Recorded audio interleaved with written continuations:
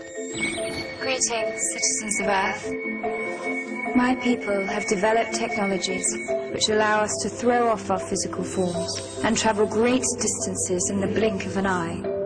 We are in dialogue with your leaders to help the human race survive its infancy, for we believe in you.